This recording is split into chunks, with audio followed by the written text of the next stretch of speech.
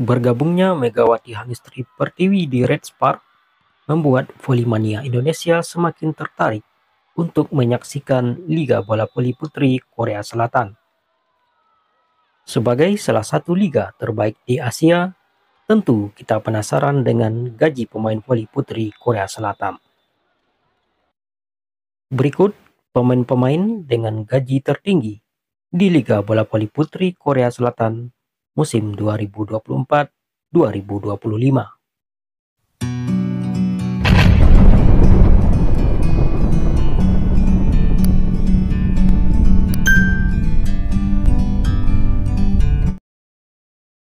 Di posisi satu, Kang Sohwi dari Expressway High Pass.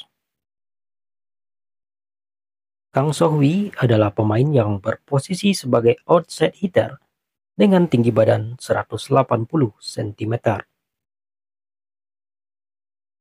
Memulai karir profesional sejak 2015 membela GS Caltech.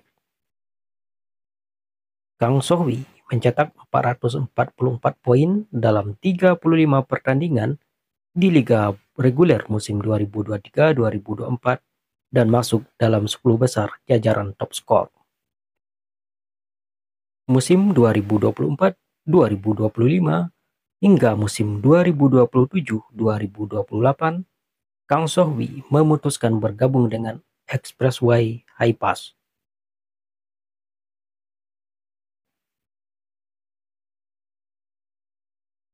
Kang Sohwi menerima gaji tahunan sebesar 800 juta won atau sekitar 9,05 miliar rupiah dan menjadikannya sebagai pemain termahal di Liga Bola Voli Putri Korea Selatan musim 2024-2025.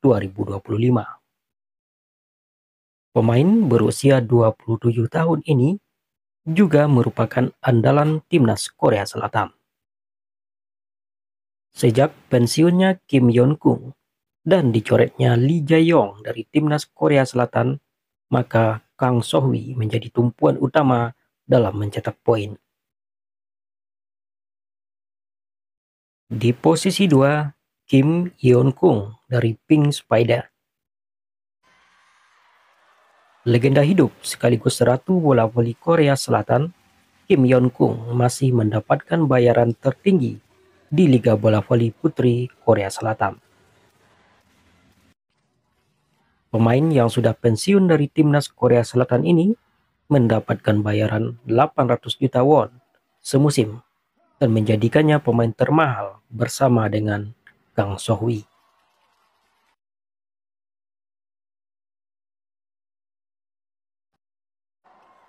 Kim adalah pemain terbaik yang dimiliki oleh Korea Selatan, bahkan juga termasuk sebagai salah satu pemain terbaik dunia di era 2014 hingga 2020. Pemain berusia 36 tahun ini juga pernah bermain untuk tim raksasa dunia yaitu Fenerbahce dan Exajibasi Dinafit. Pada Korean Village musim lalu, Kim membawa Pink Spider finish di posisi 2.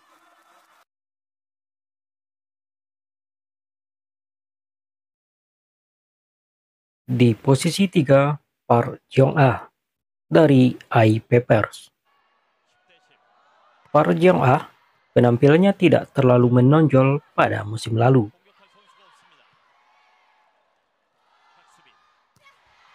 Namun pada Korean Village 2024-2025 ini, Park mulai menunjukkan performa terbaiknya bersama Papers. Dari dua pertandingan yang sudah dimainkan, Park Jong-ah menjadi penyumbang poin terbanyak untuk timnya yaitu 35 poin.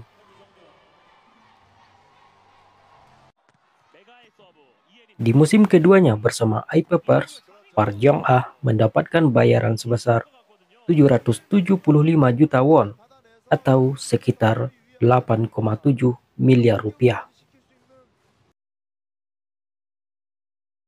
Di posisi 4, Lee Soyung dari IBK Altos.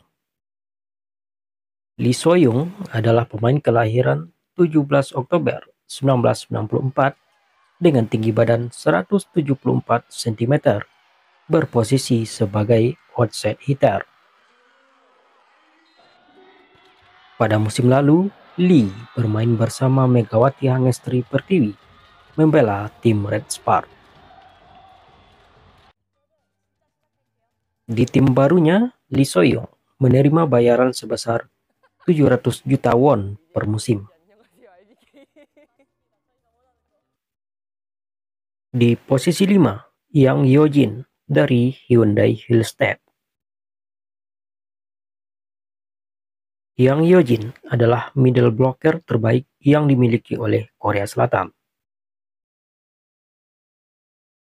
Pemain bertinggi badan 190 cm ini sangat setia dengan klubnya Hyundai Hillstead. Membela Hyundai Hillstead sejak tahun 2007, yang Yojin sudah meraih tiga gelar juara Korean Felix dan empat gelar Kovo Cup, serta sudah meraih 33 gelar individu, baik sebagai best middle blocker maupun pemain terbaik atau MVP.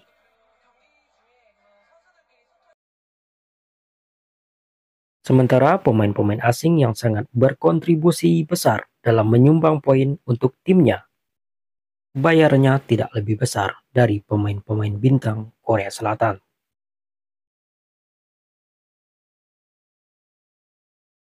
Gaji tahun pertama untuk pemain asing putri adalah sebesar 250 US dollar atau sekitar 3,9 miliar rupiah.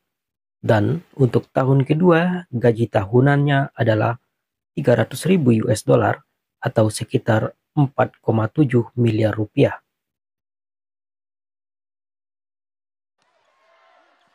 Sementara untuk pemain asing yang berasal dari Asia, di tahun pertama akan mendapatkan gaji sebesar 120.000 US dollar.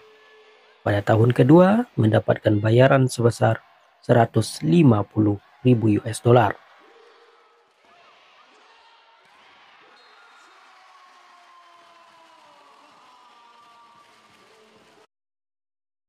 Dengan demikian, para top skor Korean Village musim lalu seperti Giselle Silva, Panja Bukilis, dan Moma Basoko pada musim 2024-2025 ini mendapatkan bayaran sebesar 300 ribu US dollar karena sudah memasuki tahun kedua. Sedangkan pemain terbaik Indonesia saat ini Megawati Hangestri Pertiwi yang sudah memasuki musim keduanya bersama Redspar menerima gaji sebesar 150 ribu US dollar atau sekitar 2,3 miliar rupiah semusim.